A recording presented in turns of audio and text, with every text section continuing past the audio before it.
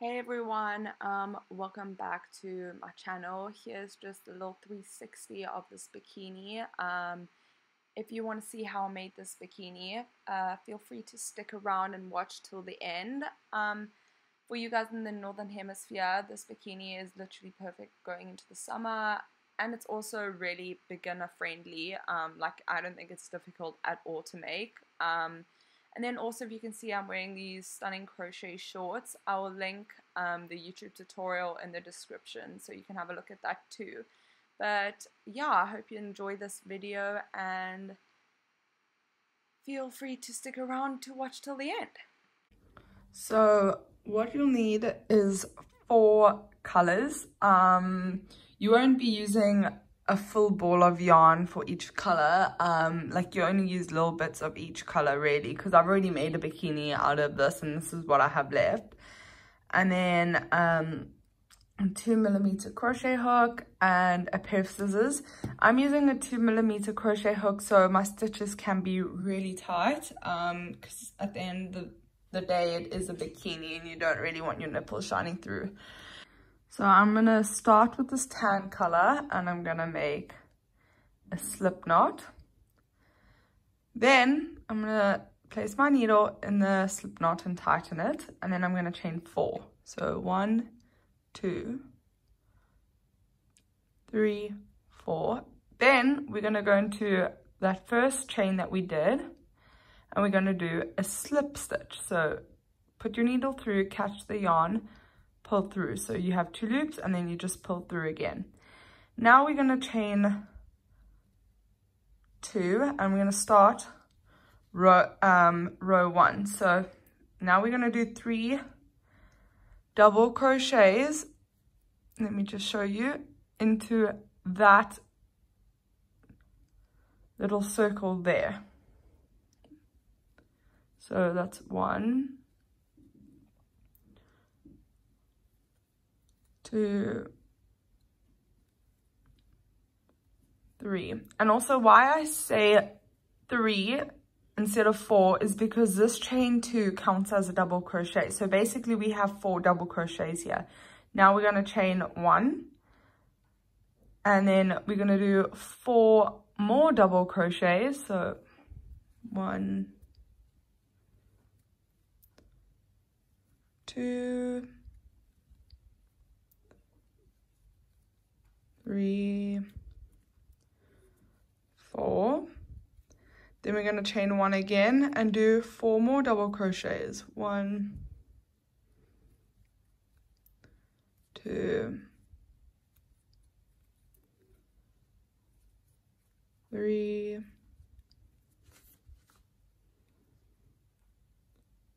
four.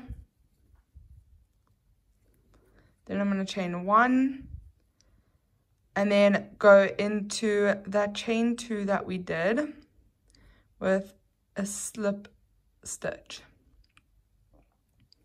Okay, so that's the end of row one, and I don't know if you can see it. It's like, it's not exactly triangular, but you can see the gaps we're working into where we did those chain ones. We're going to be working into those gaps. So now we're going to start row two by chaining one, two. And we're gonna just basically single crochet in every stitch like so. And when you get to the chain one which is basically the corner of a triangle of the triangle that we're making at the moment you're going to do three double crochets. One two three chain one and do three double crochets again. One two three. See I don't know if you can see but like me building onto that triangle. So then you just continue working your double crochet in every stitch. And then when you get to the corner you'll chain you'll do three double crochets, chain one, and do three double crochets again. So I'll meet you once I've done that. And we have come to the end of the row here. So we're coming into that last gap there. And I'm gonna make three double crochets. So one, one, two, three, chain one, and then do three, I mean two double crochets, one, two, and then we're gonna join the row by going into that chain two that we did at the beginning of the row. So, and we join with a slip stitch. Okay, so now I'm gonna cut off the yarn and I'm gonna take orange and I'm gonna make a slip knot.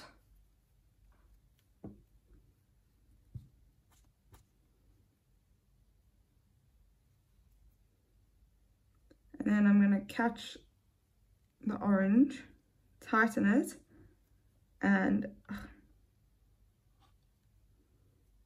and pull it through the little loop we have going on there.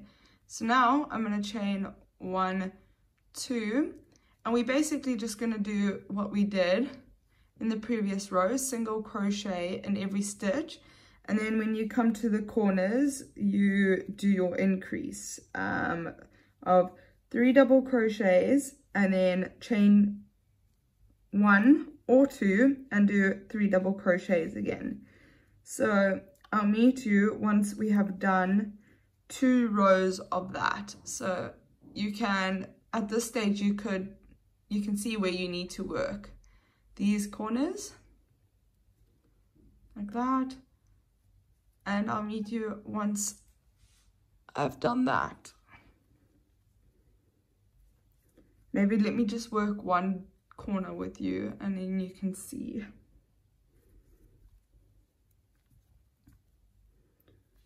One,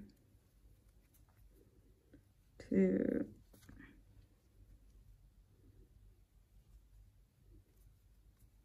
three. I actually think I'm going to chain two from now onwards. Um, one, two, three. So basically we're doing the orange part, like I mentioned. So we're basically doing the orange part here. So I'll meet you once we have finished the orange part. Because you're basically just doing two rows of the orange. So I'll meet you once I've done that. Okay, so I've done two rows of the orange and this is what it should look like. So I'm gonna cut off the yarn and we're gonna go in with the pink. So I'm gonna do a slip knot.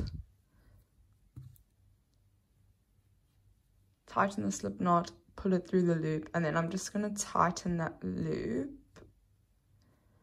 And then tip, keep the strings to the left and you can just crochet over them so it just makes your life a lot easier so i'm going to chain two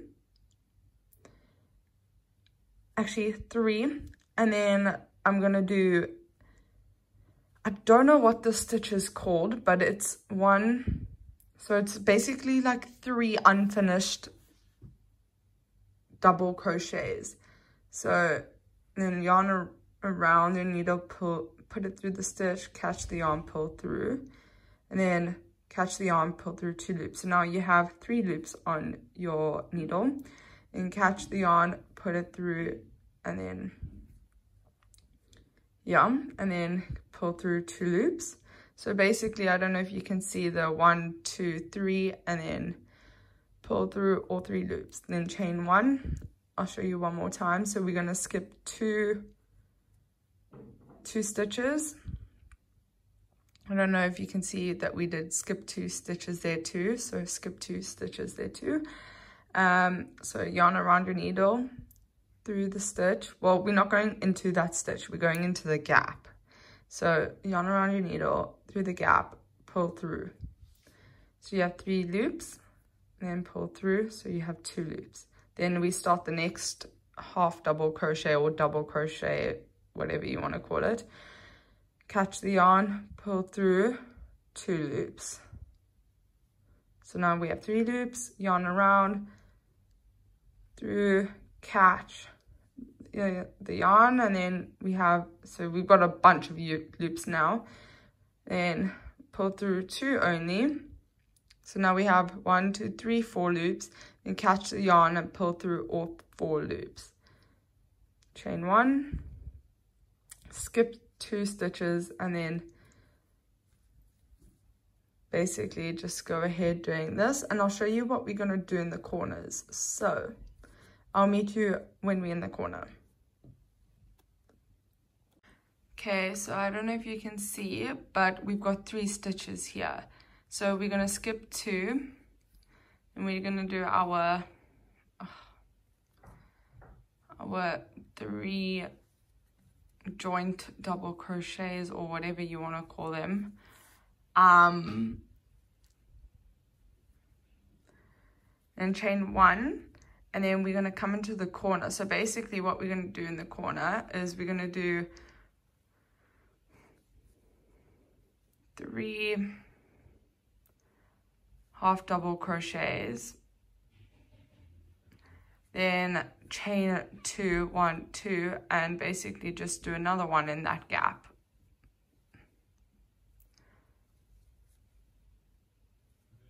One two three then you're gonna chain one. And then hmm i'm gonna just mirror what i did on that side only skip one stitch and do our three joint double crochets. One two three chain one. Now we can skip two and go into that gap okay so now we're coming to the next corner and we apparently don't need to it like works out fine. So I don't know if you can see. So we have skipped two stitches and then there's two stitches we're skipping there and then we're just going to work the corner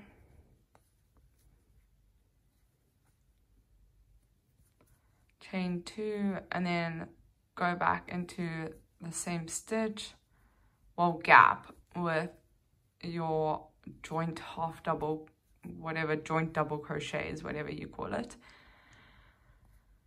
And then chain one and then skip two and then I'll meet you at that corner and then we're going to chain one and then we've come to the same situation as that corner where we're going to skip two and then you'll work one two three and then you'll chain one and then we'll work the corner now. So two three then we're going to chain two and we're going to do the three joint double crochets into that same stitch. Now we're going to chain one. And then we're going to skip one stitch because we're just mirroring what went on on the other side of the corner there. Uh, um, and we're going to do three, one, two, ugh. one, two, three, chain one, skip two,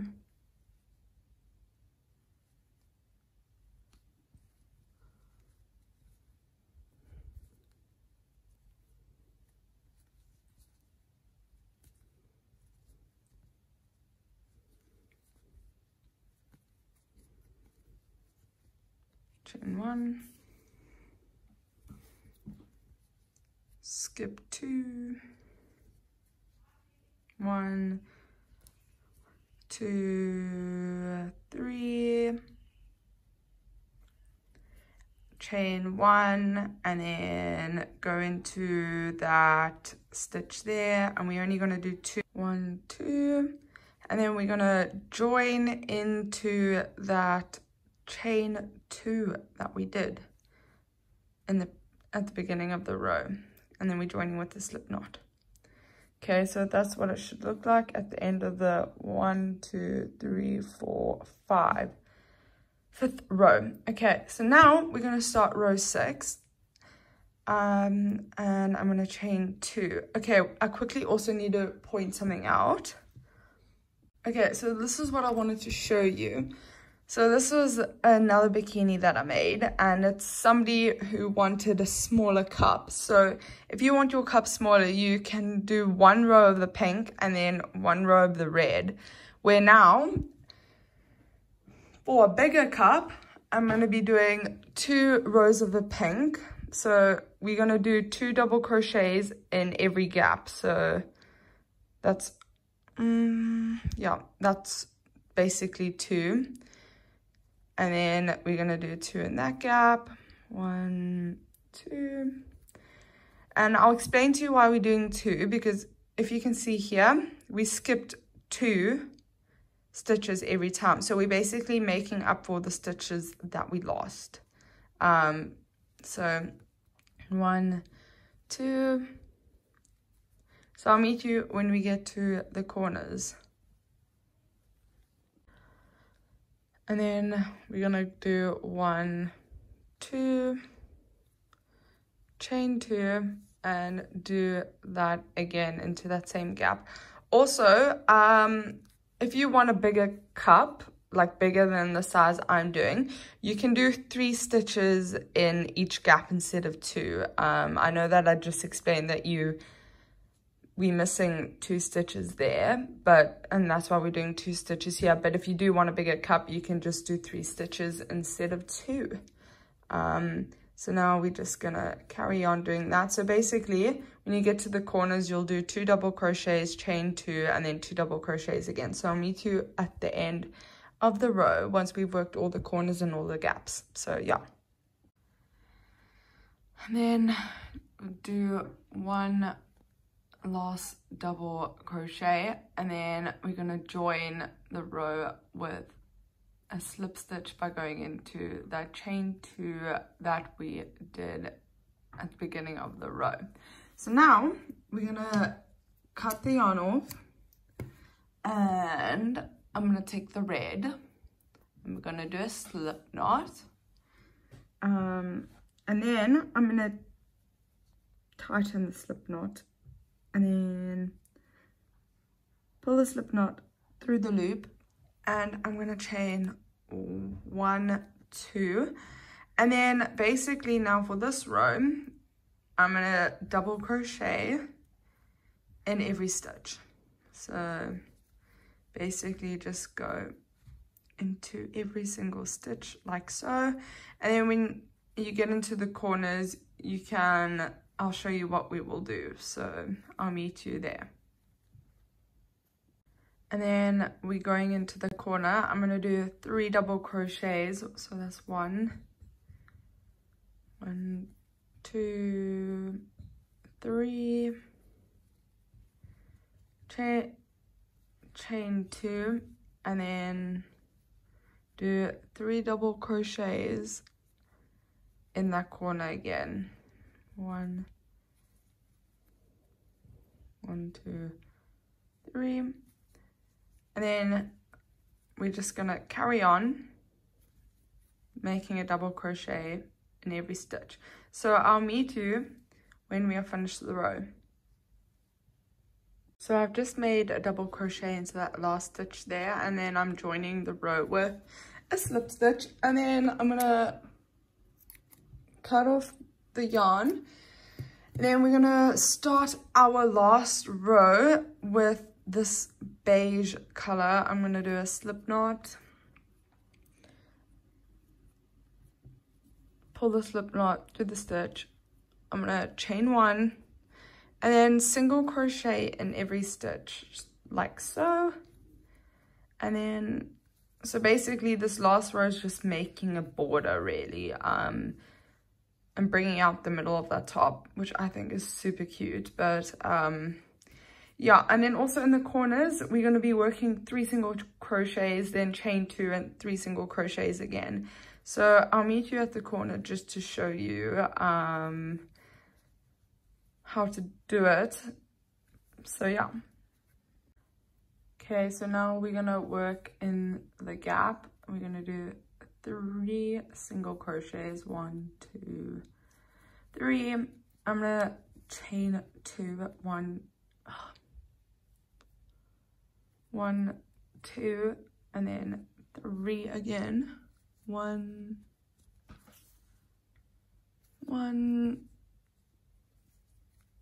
two three and then now we're just gonna work every single stitch like we have been doing. So i'll meet you once i finish the row.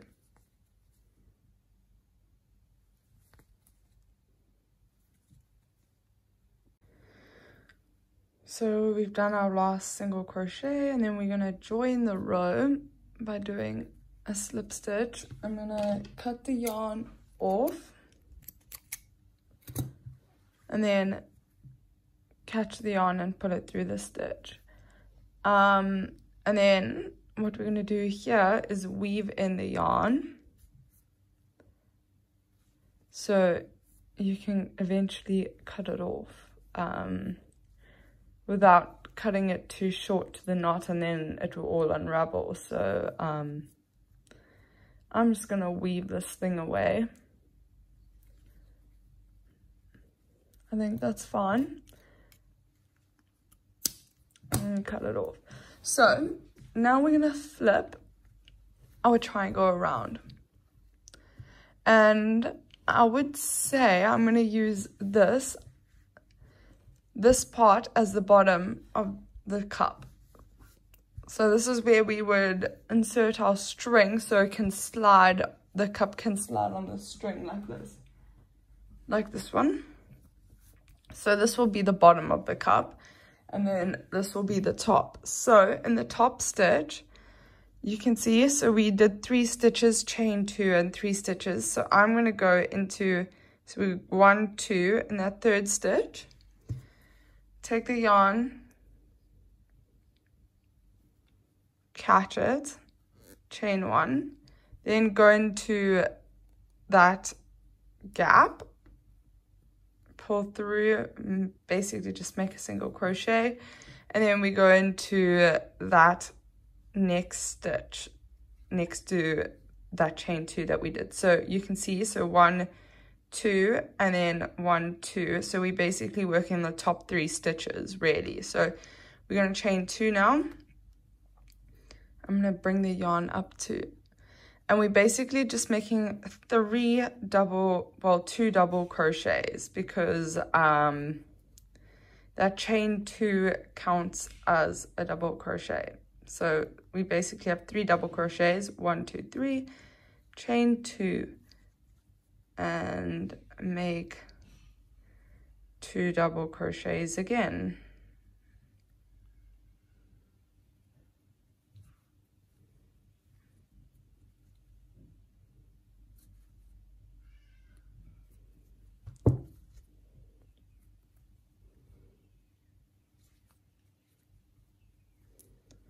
So you're going to make enough rows as you'd like for this this I don't know what the strap to tie around your neck or if you want it even longer so you can attach it to the bottom string um you're welcome to do so. So I'll meet you once I've made my strap long enough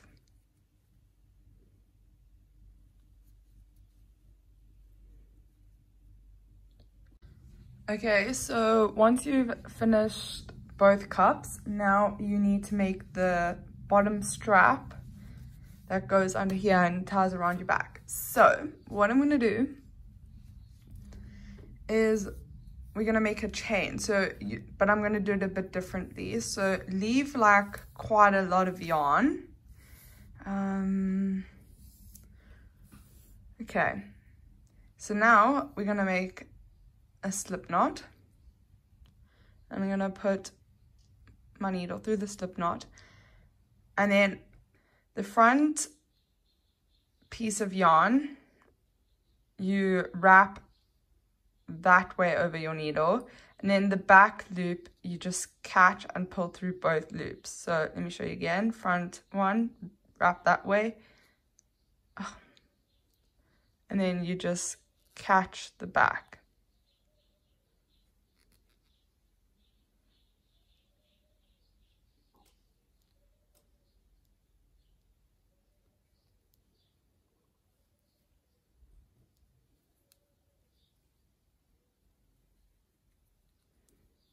So wait, basically we're going to be making a very long chain, long enough to tie around your back and also obviously have excess string left over kind of because then it will look funny if it's too short. I don't know if that makes any sense.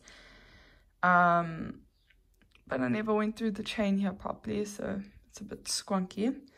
So we're just going to continue doing this and I'll meet you once the chain is long enough. I'm just gonna tie a knot. Um, and then I'm gonna take my scissors and just cut it off. And then what you're gonna do now is we're gonna take our cups and I'm just gonna line them up. And then I'm gonna weave through the red color. So I'm going to start here at the corner. And then I'm going to go through here and we're going to weave between every second stitch. So like that. So we're just going to get it through to that end. just going to make my grip come out a bit and then I'm gonna just place it into that end there. Then I'm gonna catch the end of this. And catch the end and I'm gonna pull it through like so. So it should okay well I lost um well it came out while I was doing it so I'm just weaving it through. Every second stitch it takes longer doing it like this, but anywho, we're doing it now. So, um, yeah, so you basically just do this until the end.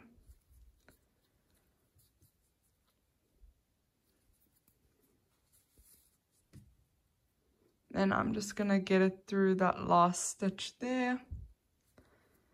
And I'm going to pull it through. So now we just got to get the other the other cup on the string and I'll meet you once I've done that. So I've decided just to show you how easy it should be on the second one. Um, so I'm just gonna slide it through like so.